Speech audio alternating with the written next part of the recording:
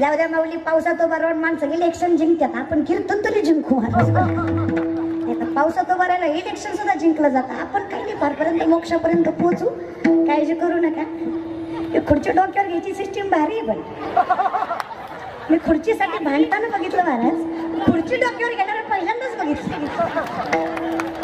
हा ना? हा, हे फक्त पुण्यातच घडू शकतो महाराज. खुर्ची सुद्धा डोक्यावर चल खुर्चीची काय किंमत तू माझ्या डोक्यावर? चला. गोड विषय. तर कसं नाही खरंच तुमची आत्मीयता फार बरं कमाय बाबा? विनंती आहे. नाहीतर एवढ्या पावसात एवढी माणसं थांबणं म्हणजे तुम्ही सुद्धा संतांचा अवताराचा आहात मी ठामपणे सांगू शकते. कारण पुणे हे विद्याचं आणि संतांचं माहेर घर या पुणे जिल्ह्यात सगळ्यात जास्त संत आहेत नाही का? सगळ्यात मोठी संतांची भूमी हा पुणे जिल्हा आहे. माझ्या तोकोपर्यंत करतात. गोळवे सावकारांची पोरगी तुकोबरायांची बायको आवली. आणि साधं सुद्धा नाही सावकाराची पोरगी आहे. पस्तीसशे एकर ऊस तुकोबरायच्या सासऱ्याचा पुण्यात. फक्त ऊस. किती? पस्तीसशे. पुणेकर. तीन हजार पाचशे एकर ऊस आहे. आपला टू बी एच के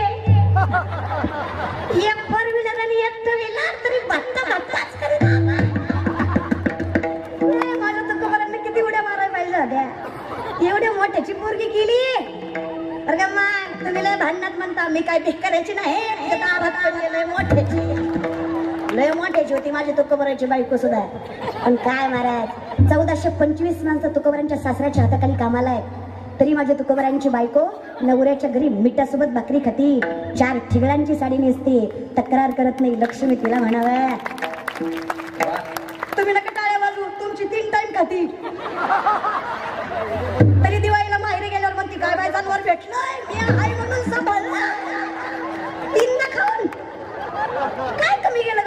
तुम्हाला देवानं घ्या पुढच्या खाली झाला पण त्यो.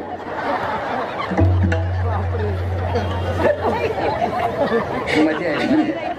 हे आज म्हणजे अविस्मरणीय. तसं पुण्यातलं माझं प्रत्येक कीर्तन अविस्मरणीयच असतं.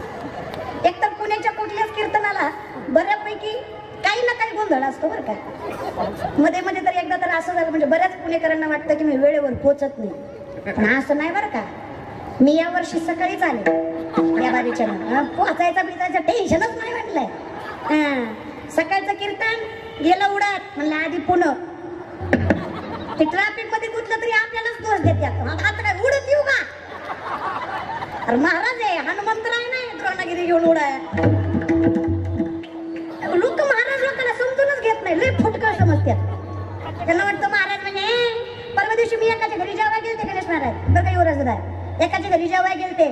बरं का बाबा तुमच्या आलते म्हणून म्हणलं महाराज बरं का? एकाच्या घरी जेवायला गेलते तर बायकोला म्हणत होता ताईला चतकर वाढ ताईला चतकर वाढ मला वाटलं आता मी येते ना म्हणतोय महाराज आले तर वाढ महाराज. म्हणलं नको दादा पोट भरलं नाही ना वाढ वाढ म्हणलं प्रेमानंच पोट भरलं नाही ना वाढ पुन्हा डाऊटच आला. म्हणलं तब्येत बघून म्हणतोय काय की? गरज आहे वाढ वाढ गरज आहे लय सुकलंय वाढ म्हणलं नको पोट भरलंय नाही ना वाढ वाढ म्हणलं दादा नको बरं का पोट भरलंय नाही ना वाढ वाढ त्यांना भेटत नसतंय वाढ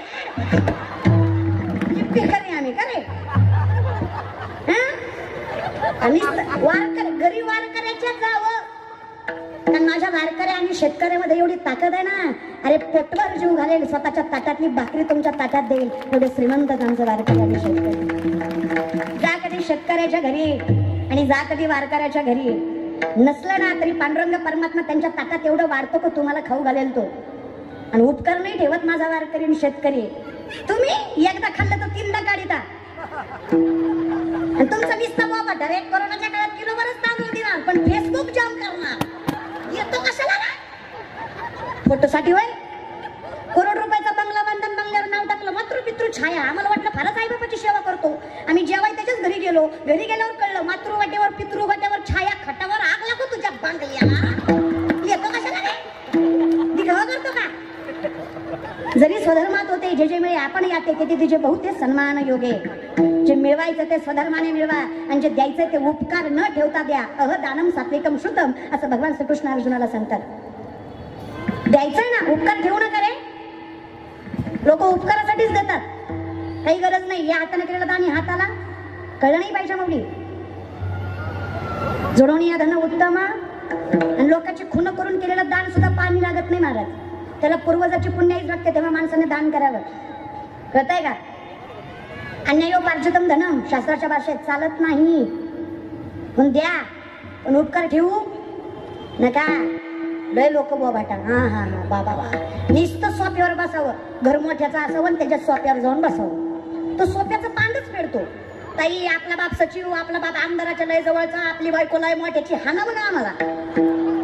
तुम्ही मोठ्याची आम्ही मान्यच केले म्हणून. आम्ही गरीबाचे का? अरे आम्ही होई ना भिकारी. पण पंढरीचा? कारण राजा याची कांता. मनाची आजोगे शास्त्राच्या नियमानुसार विपदो विपदो नैव संपदो न संपदा. विपदा विस्मरणम विष्णू संपन्नारायण स्मृती.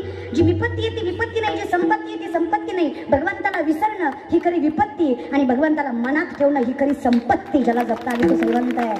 परमार्थ हे महाधन. जोडी देवाचे. मग कमवलं ना आम्ही. काय गरीब आहेत काय? आणि माझ्या तुकोबर आहे गरीब आहेत. पासष्ट लाखाची सावकार की माझ्या तुकोबरायांची बरं का पुणेकर किती लाखाची? तुम्ही म्हणतात पासष्ट लाखाचा माझा फ्लॅट आहे. येडे आताचा नाही साडेतीनशे वर्षापूर्वी. बरीच वयानं मोठी माणसं माझ्यासमोर आहेत. मला सांगा तुमच्या लग्नात किती रुपये तोळा सोनं होतं? माफ करा लग्न झाल्यात का? तुम्हाला नसायची बायको पण मी तू मीठ चोळायची. बायक आहे ना? बरीच वयाने मोठी माणसं. किती रुपये तुम्हाला सोनं होतं? तीस पस्तीस चाळीस वर्षापूर्वी? एक चारशे पाचशे? अहो, होय तरी म्हणा की. अशी बसले ती जस काय यांचं मी घेतलंय. आणि फेडलं नाही. आनंद घ्या रे जरा दादा. चारशे पाचशे? डोबळ मारणे आपण आपल्याला काय करायचं? चारशे पाचशे. शंभर वर्षापूर्वी पंचवीस पन्नास. साडेतीनशे वर्षापूर्वींचा काळ आहे तुकोबऱ्यांचा आत्ताचा लाख म्हणजे तेव्हाचा रुपया. आत्ताचा लाख म्हणजे तेव्हाचा अशा हिशोबाने तुकोबारांची पासष्ट लाखाची सावकारकी आपण माजी ग्रामपंचायत सदस्य. चालू सुद्धा नाही. तरी आपल्याला वाटतं चौघांनी तरी रामराम घालावा. नका रे दादा. चुकतंय कुठं माहीत आहे का? हरिदास जरी असेल आणि अहंकाराची बाधा असेल ना तर देव तुम्हाला कधी मोक्षापर्यंत पोहोचवत नाही. हा अभंग त्याच्यासाठी ज्याने कधी कल्पनेची बाधा केली नाही आणि अहंकाराचा वारा लागू दिला नाही. आणि का मागतोय महाराज? कारण आम्ही काय केलं? जे सत्य ते स्वीकारलं नाही जे असत्य ते कायम स्वीकारलं. कल्पनेची बाधा? बाधा. कल्पना वाईट नाही कल्पनेशिवाय संत नाही ग्रंथ नाही भगवंत नाही. कल्पना वाईट नाही कल्पनेची बाधा वाईट आहे. देव वाईट नाही पण देवाची बाधा वाईट आहे. अंगात येत नाही असं म्हणणं नाही पण येणं वाईट आहे. मला फक्त एवढंच म्हणायचंय माय. अंगात आल्यावर फक्त नवऱ्यावरच कसा जोर असतो? देवीला बाकीचे पण भक्त दिसले पाहिजे ना. देवी नवऱ्या तर ती झाडाला नाही तर असं झाडाला अगं खोडाला बी मरणच आहे. कळलं त्यालाच कळलं.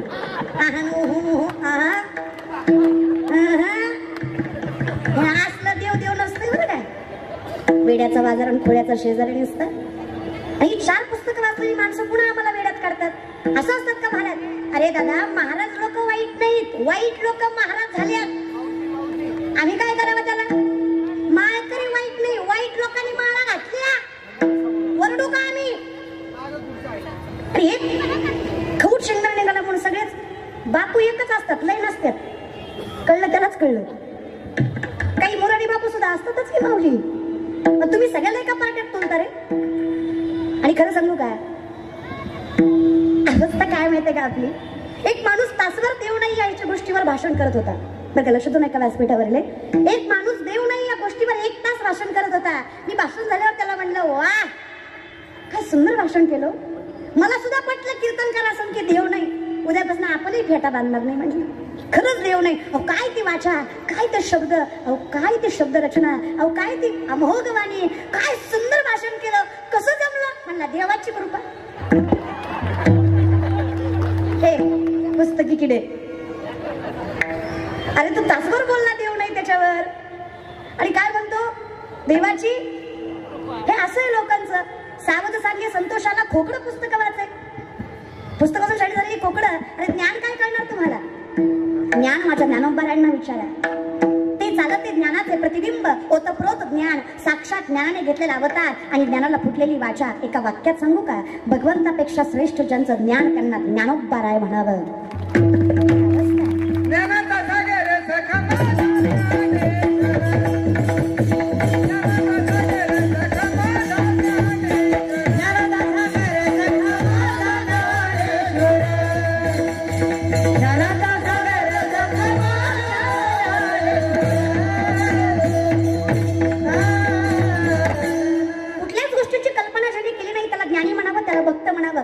अवस्था सांगू का?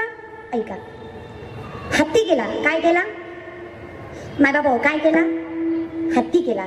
बारा फुटाचा केला. किती फुटाचा? बारा. मिठाचा केला. कशाचा? मिठाचा. काय केला? किती फुटाचा? कशाचा? माय बाबा एवढा सुंदर हत्ती केला. पण मी भलीश आहे. लोकांना दाखवायच्या आधी स्वच्छ करावं म्हणून सागरात नेला. तीन तास धुतला माघारी आणला. आला? नाही नाही आला. आला? नाही नाही आला. माझा होता मी आणला तोंड. येईल का? मी किती हट्ट केला. येईल का? अगदी. ती लवणाची कुंजरे सुदली या लवण सागरे नोहीची मागारे परतोणी मग भक्त कुणाला मानावं कल्पनेची? भक्त कुणाला म्हणावं? देव पहावया गेलो तेथे देवाची होणी. ही अवस्था त्याची आहे ना सर्व घटीरामध्ये हा देही सूर्यप्रकाश का? हे लक्षात घ्या. भरला घनदाट. शंकराचार्यांच्या भाषेत करार बिंदे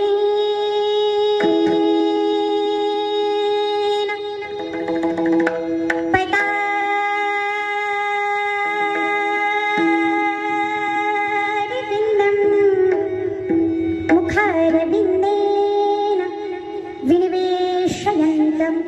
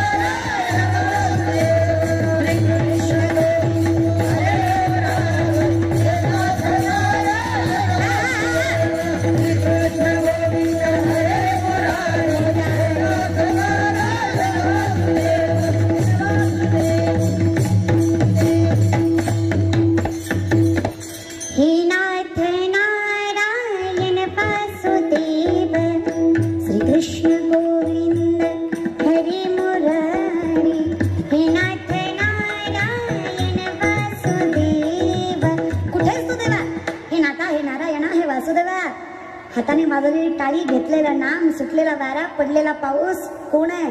बघा रंग. एक झाला कल्पनेची बाधा. समजताय का? नहो कवणे सर्वस्व देव आहे तर कशासाठी? जे जे दिसे भूत तेथे मानीचे भगवंता भक्तियोग निश्चित जाणं माझा. ही माऊलींची भाषा आहे. म्हणून तर तुम्ही जते आहात ना द्वारकेचा राणा? आमची जनाई देवाला हाका मारते. सुंदर माझे छाती फिरते भवते Yeah.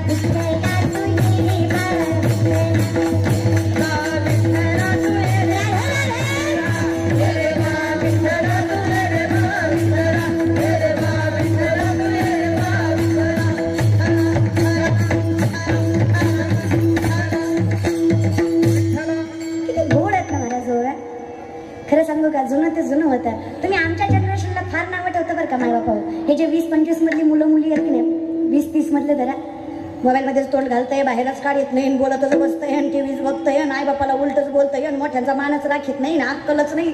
कुणामुळं नाही?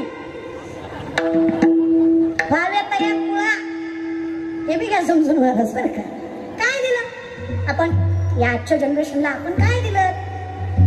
खरं सांगा दादा तुमच्या काळात तुम्हाला उठवायला वासुदेव होता. होता की नाही? आम्हाला पाववाल्याचा भोंगा